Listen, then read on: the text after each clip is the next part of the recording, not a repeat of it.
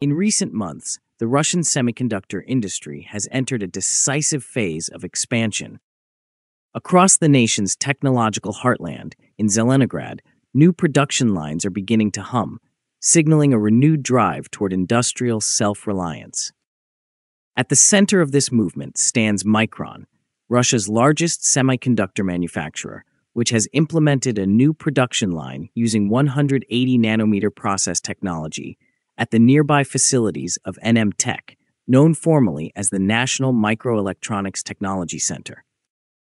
This collaboration represents a deliberate effort to relieve pressure on Mikron's existing capacity while enabling faster scaling without waiting for next generation fabrication nodes. According to the research and development team at NM Tech, the first silicon crystals produced during test runs have demonstrated full operational success, confirming that the 180 nanometer line works reliably. The company's engineers describe the milestone as a crucial validation of domestic manufacturing resilience. Mikron officials have emphasized that, in response to rapidly increasing demand for semiconductors within both the civilian and defense sectors, production will continue to expand through the transfer of technology to NM Tech's updated facilities. Together, these two Zelenograd based firms have become the cornerstone of Russia's push to secure its microelectronic future. The choice of NM Tech as an expansion partner was an obvious and strategic one both companies operate in close proximity within Zelenograd, a city often referred to as Russia's Silicon Valley. The location allows for seamless collaboration, efficient logistics, and shared technical expertise. Between the years 2020 and 2022, NM Tech acquired and modernized the former facilities of Angstrem T, an earlier microelectronics enterprise, investing heavily in upgrading equipment and cleanroom infrastructure. Much of the refurbished machinery is optimized for 180 nanometer topologies, an established and dependable semiconductor process. Experts note that while the global race toward advanced nodes such as 65 or 28 nanometers continues, the creation or acquisition of entirely new fabrication plants for those technologies demands vast resources, long lead times, and international supply chains that remain constrained by sanctions, the 180 nanometer node remains one of the world's most widely used, mature semiconductor processes. It is not at the cutting edge of transistor density or feature miniaturization, but it occupies a critical space where cost, durability, and reliability matter more than peak performance. Integrated circuits produced at this level are especially suited for automotive electronics, industrial controllers, power management chips, light emitting diode drivers, display control circuits, and various types of sensors. The complementary metal oxide semiconductor process at 180 nanometers, for example, is known for its ability to handle high voltages and operate in extreme conditions.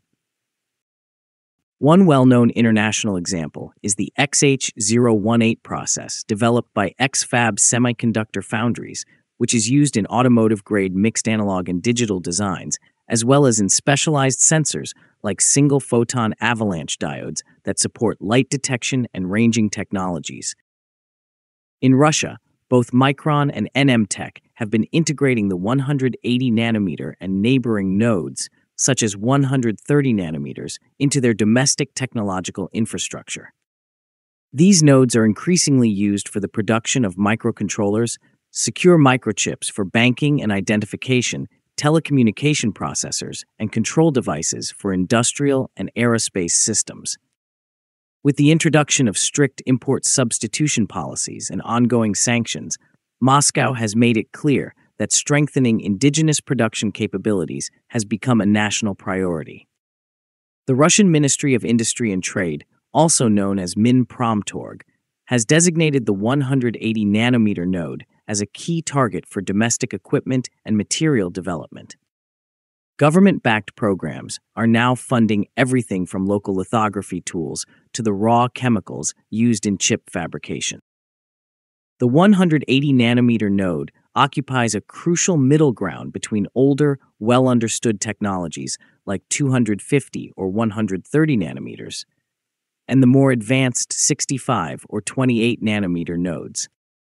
For Russia, it serves as both a practical choice and a stepping stone. The process is easier to establish because its supply chains and production methods are less complex than those required for newer technologies. In the current climate of export restrictions and limited access to high end extreme ultraviolet lithography equipment, mastering these mature nodes provides a feasible and strategically sound path forward. Many of Russia's key technological applications, ranging from military avionics and space hardware to industrial automation and the Internet of Things, do not require extreme miniaturization. They instead depend on stability, resistance to temperature variations, and longevity under stress. For these uses, the 180 nanometer process provides the optimal balance between performance and resilience. Its larger transistors can better withstand radiation and thermal fluctuations, making it a reliable choice for satellites, defense systems, and mission critical infrastructure. Building competence at the 180 nanometer level also strengthens Russia's foundation for technological independence.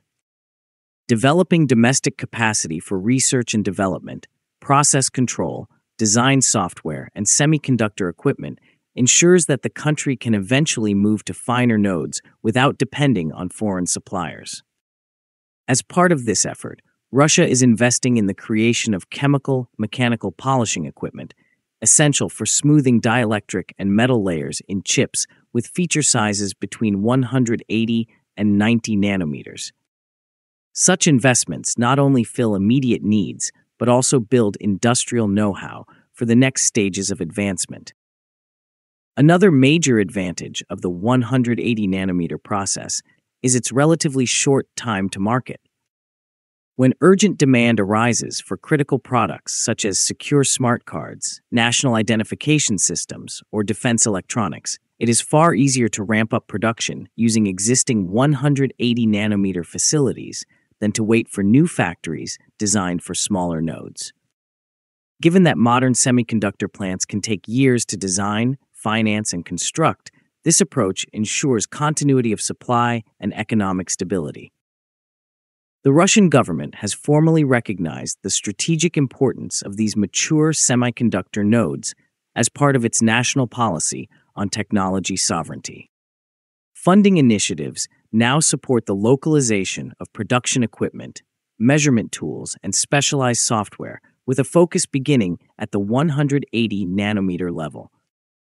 The Moscow Institute of Electronic Technology, known as MIE, along with other state research bodies, is coordinating multiple projects aimed at replacing imported fabrication machinery.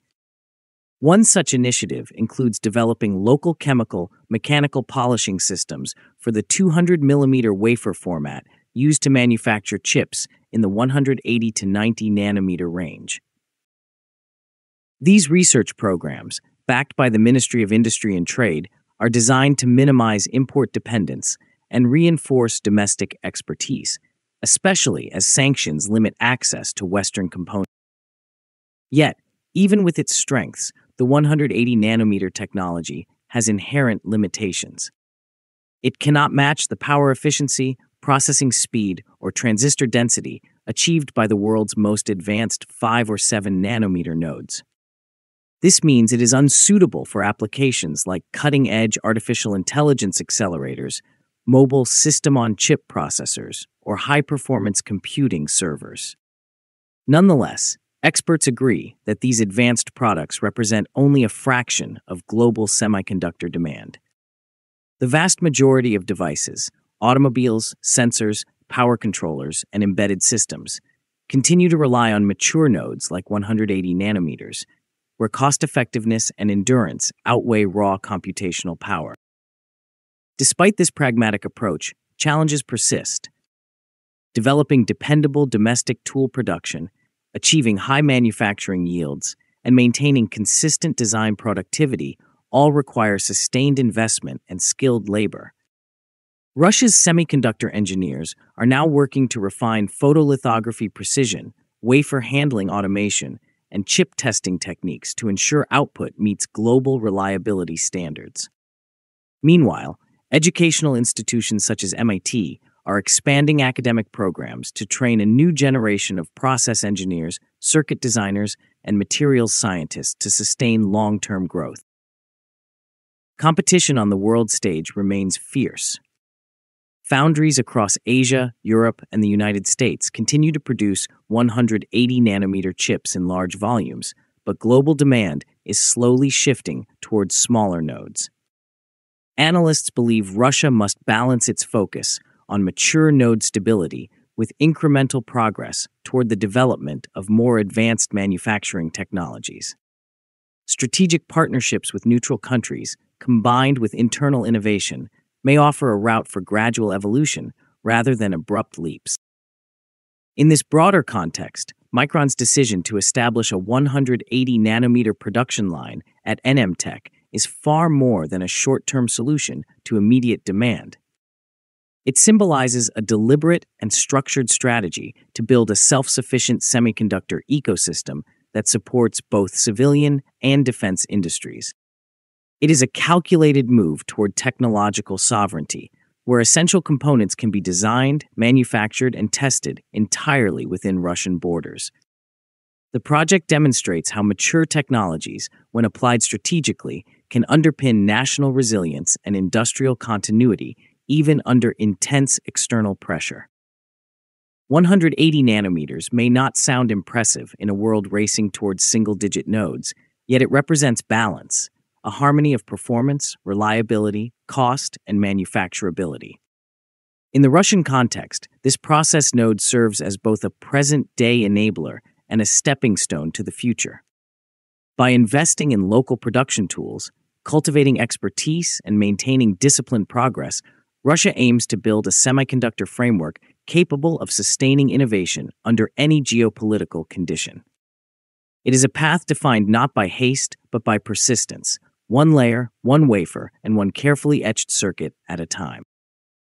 In essence, the story of Mikron and NMTech illustrates how resilience can emerge from constraint.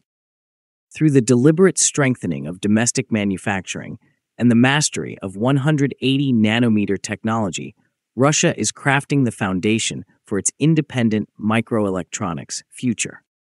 In a global industry often defined by speed this approach instead values endurance and the quiet confidence that even mature technologies can still power a nation's technological revival. If you find this video informative, please like, subscribe, and share. Please also take our membership to encourage us.